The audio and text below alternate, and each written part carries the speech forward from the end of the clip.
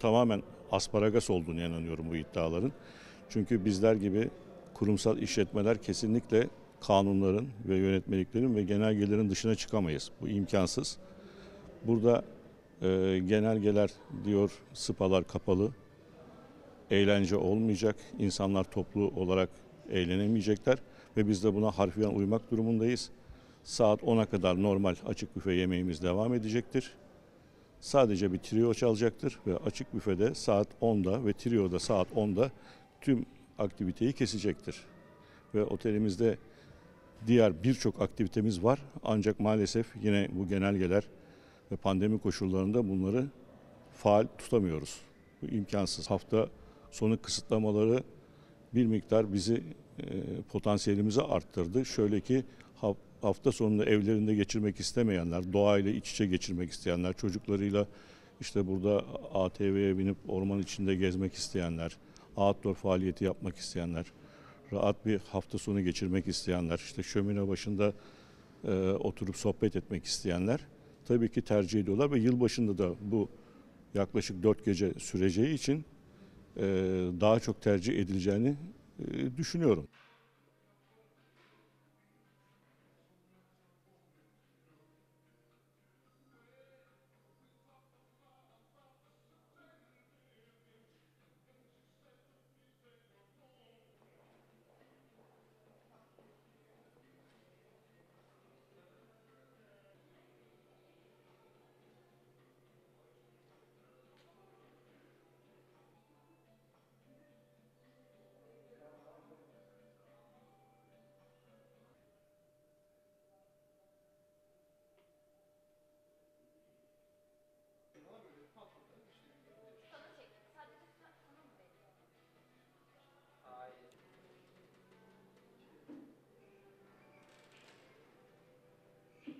Şimdi bu yılbaşının geçmiş yılbaşı e, dönemlerine baktığımızda arada bir fark var tabii ki.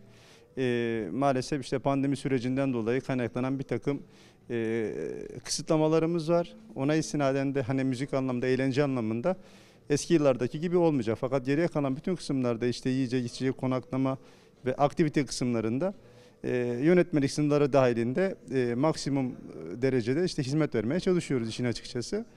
Ve son dönemde de şeyler var tabii talepler artmaya başladı. Bir durgunluk vardı. Son günlerde aramalar çok artmaya başladı. Ee, yaklaşık dolulukta e, biz işte %70 civarında bir doluluk bekliyoruz.